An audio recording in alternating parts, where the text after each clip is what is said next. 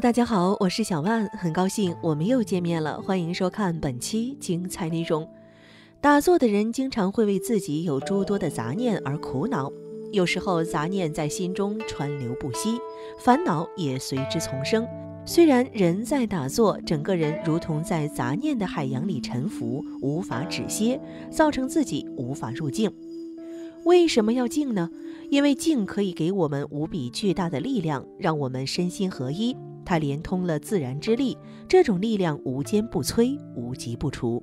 它不损耗我们身体的能量，还发掘出我们固有的源源不断的潜能。有朋友问我打坐的好处，是否可以打通经脉，是否可以代替睡觉，是否可以开天目？我说没有那么好，打坐通常会手脚发麻，感觉经络堵塞。打坐经常会半梦半醒，使人陷入昏沉。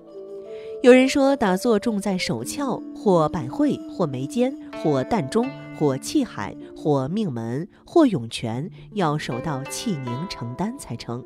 可结果丹没结成，反倒出现血压升高、胸闷气结、血淋崩漏、阳亢遗精等诸多难治之症。有人说自己心思太乱，杂念太多，忧虑烦恼萦绕于心，打坐只是想图个静心安神。我说打坐恐怕帮不了你。如果你睁眼的时候心乱如麻，闭上眼睛盘腿一坐，也一样如麻心乱。有人说打坐的时候，我心里默念一手丹田，注意呼吸，渐渐的我不就守住了？如果一个人你不爱他，却在心里说我应该爱他，他这里好那里好，值得我爱，你就真爱他了。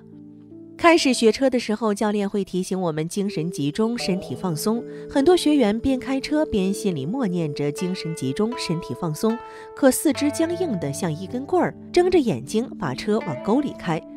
但是如果你真心的爱一个人，似乎不需要再提醒自己他哪里好，哪里值得你爱。或许在别人眼里他一钱不值，可你却仍为他痴狂，时时牵挂。同样，当我们学会开车以后，我们即使听着音乐、聊着天儿、打着电话，精神仍然是集中的。有人说，那打坐可不可以入静呢？这就像有人问你的首饰盒用来装什么，我说装首饰。其实打坐就像首饰盒，它原本是用来装静的，但如果你没有静，那么装在里面的或许就是个爬动的小虫了。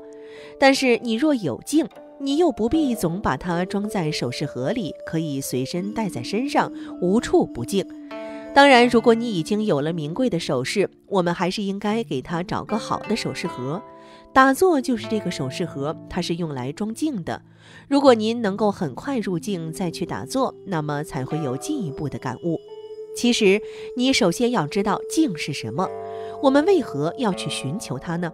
静不是让你默不作声、闭目塞听，而是让你意念集中、精神投入，以达到忘我的境界。为什么要静呢？因为静可以给我们无比巨大的力量，令我们身心合一。它连通了自然之力，这种力量无坚不摧、无极不除。它不损耗我们身体的能量，还发掘出我们固有的源源不断的潜能。其实，如果你打坐是为了入静，那么对于心里很乱的人来说，就不要选择打坐。不要试图让一个多动症的孩子手放背后坐直，那样根本无济于事。有很多人肝火很旺，脾气很急，就更不适宜在那里一手丹田。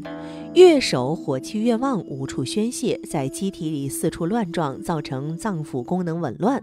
这种人要选择动中求静的运动，最好是那种有些对抗性的运动。要知道，只有动中静、乱中静，才是真的清静。还有书法家在尽情泼墨的时候，眼前哪里还有书案纸砚，完全是天马行空，情随意转。钢琴大师的即兴弹奏更是人琴合一，心悦共鸣。今天为大家分享三种打坐中让自己入静的方法，看看哪一种最适合你。第一种，念佛法。念佛能让自己的心逐渐的静下来。佛号本身就具备一定的威力，可以清除人的诸般烦恼。念佛的形式也是对佛虔诚正信的一种表现。如果坚持念佛，其效果更加显著。还没有习惯念佛的人，在刚开始的时候要念出声音。这个念诵既念且听，能够断除周围环境对自己的影响，让自己达到心无旁骛。当能够做到心无旁骛的时候，再在打坐中念诵，效果会更加好。真正去打坐时，口眼都需要闭合，所以需要在心中默念。做好后，眼睛一闭，就要开始念佛。在打坐中念佛，最好能念到似念非念、非念而念的效果最好。当达到这个地步的时候，心中的妄念会一扫而空，澄澈清净。第二种数息法，数息也能让自己在打坐时达到一心，没有杂念。打坐时，最开始要加重自己的呼吸，让自己的心念更加的专注，不着于外物。当心态逐渐清静下来之后，呼吸就逐渐的开始绵长。数息是最容易进入定中的，但是同时也容易让人在打坐时入睡。所以越是呼吸绵长，越要保持头脑清醒，不要让自己沉睡过去。因为呼吸本身就带有修身的效果，所以打坐时数息除了可以帮助自己入静，也能调理身体的各种问题。不过，如果以数息法入静，一定要在打坐时保持身体各部位的姿势正确，同时要保持放松，这样才能让能量在身体各处畅顺流通。如果习惯了数息，当自己能达到入境的时候，就无需去刻意数息了。过分的关注自己的呼吸，反而又会让自己的心沉迷于自己的呼吸当中去，达不到入境的目的。最好的数息状态是似数非数，心态清净，一念在呼吸上，又似乎没有关注在呼吸上，这就叫做微妙呼吸。第三种方法，内观法。所谓的内观，就是集中自己的思想念头，做到眼观鼻，鼻观心，心观丹田。因为我们平时的想法都是向外发散的，一旦遇到什么事，很容易去想别人如何，别人为什么会这样对待自己等等。打坐中内观，就是要把自己外散的那些心念收回来，不去向外发散。在道家，这种方法叫做摄心，也就是收摄自己的心神。很多人讲养心，其实内观就是最好的养心。当自己的心神都收回来的时候，自己的心才能真正做到不为外物所扰。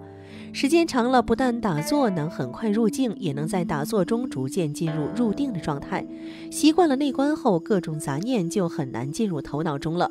但是要达到这一步，也需要一个渐进的过程。在平时也要使用这种方式，心念不要落在别人那里。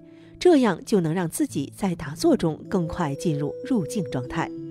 其实专注就是入境，入境并不是入空去追求虚无，而是不用心力，没有阻碍，就像是一个圆润的玻璃球，将它投在光滑的冰面上，靠始发的推动力一直滚下去，没有摩擦也就没有损耗。当你放弃人为力量的介入，内心的自然之力便会显现出来。有人打坐想追求开天目，希望能看到神佛的形象或听到天外之音，想做一个通灵的人，结果灵没通成，却走火入魔，成了妄想狂。一旦如此，想再回到正常的心态就非常之难了。所以在练习打坐之前，一定要先读读《金刚经》，上面有四句话，就像是套在孙行者头上的金箍，不让人起心猿意马的妄念。那正是佛对孙悟空的师傅须菩提祖师说的：“若以色见我，以声音求我，是人行邪道，不得见如来。”可现在的人却偏向邪道行，有困难要上，没有困难创造困难也要上。很多人对《金刚经》不屑去读，却忙着追求特异神功，岂不知平常心是道。越是离奇怪诞的东西，离道越远。你有一千个杂念，便有一千个幻影相随；你的经历便有一千个人为的损耗。但如果你一念清净，真实的全貌就尽显在你的眼前了。当你不再搅动浑水的时候，却发现它反而清澈见底了。今天的内容就说到这里，我们下期精彩继续吧。